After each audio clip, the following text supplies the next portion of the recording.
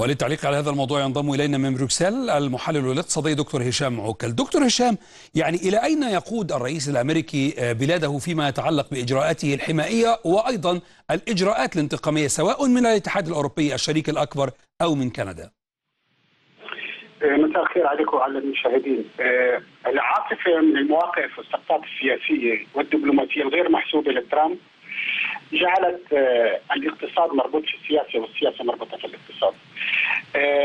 سياسات ترامب العشوائية الآن تجاه كل الدول المحيطة في في الولايات المتحدة جعلت اتفاقية التجارة الحرة وخلينا نحن نعطي تعريف ما هي اتفاقية التجارة الحرة هي اتفاقية جرت ما بين الولايات المتحدة وكندا والمكسيك.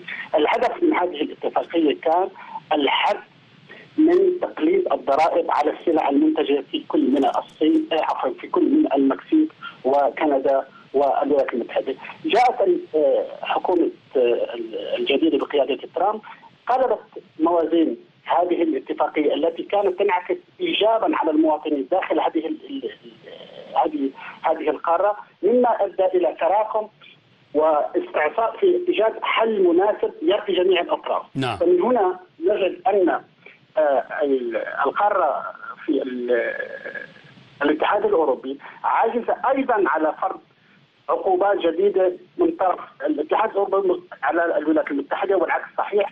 هناك مشاكل أخرى ما بين الولايات المتحدة والصين هناك مشاكل أخرى اقتصادية ما بين أستراليا والولايات المتحده الولايات المتحدة الأمريكية. يعني هناك مشمل كبير من المشاكل الاقتصادية لأن الاقتصاد ربط بسياسة همجيه عشوائية لا تنتهي بالضرورة إلى وجود سبيل لإعادة ترتيب توازن المصالح في العالم اجمع.